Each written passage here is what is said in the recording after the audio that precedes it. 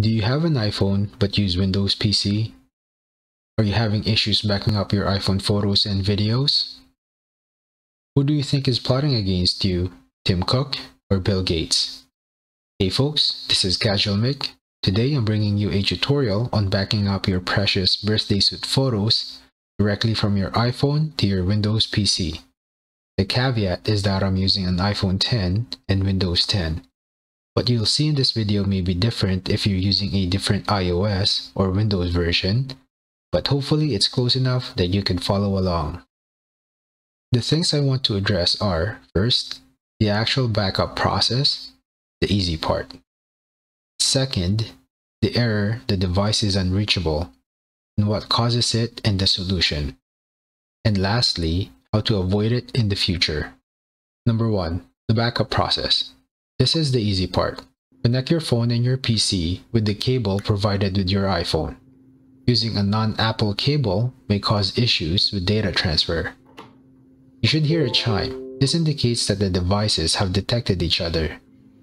Unlock your phone if you haven't yet and select Allow from the prompt. Now go to your File Explorer in your PC, and your Apple iPhone should have appeared on the left-hand side under this PC. The file path that we're going to follow is File Explorer, Apple iPhone, Internal Storage, DCIM. Here you may find numerous folders that contains your photo and video files. You can now grab the files that you want and drag it into wherever you want to put it in your PC. If that worked for you, congratulations. Number 2. Did you encounter the error the device is unreachable? Sometimes you may encounter this error for some specific files. I have done some testing and found out that this mostly happened to my video files, specifically on larger video files around the 1GB file size. That's approximately 8 minute long videos at least on my phone. To note, if you encountered this problem on say image underscore 5101 it does not mean that the file after that would have the same issue. Unplug and replug your phone and continue backing up starting on image 5102. Take note of the file with the problem. The workaround for this is going into your phone setting, search or scroll down to photos, now scroll all the way down to transfer to Mac or PC. Here you have two options. Automatic means that your phone will convert the file into something your PC could recognize. It would convert high efficiency file formats into a more common file format like JPEG. This is an amazing feature, but it's partly to blame for the issue.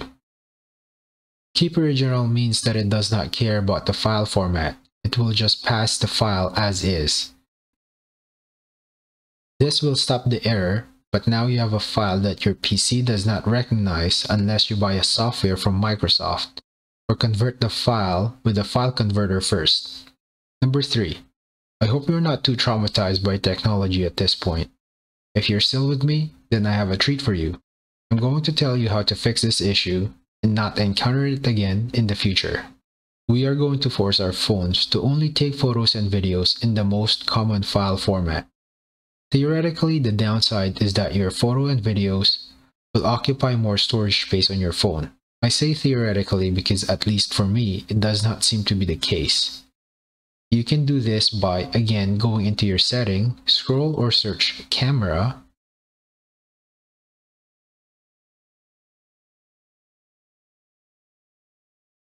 go into format, select most compatible. Now you don't have to worry about automatic, keep original, or file converting. You should not have any issues backing up from this point on. So there you have it guys. That is how you transfer your photos and videos directly from your iPhone to your Windows PC. If this video was useful, share it with your friends, and please consider liking and subscribing to help me grow my channel and to motivate me to create more contents like this one. This is Casual Micc. Till the next video.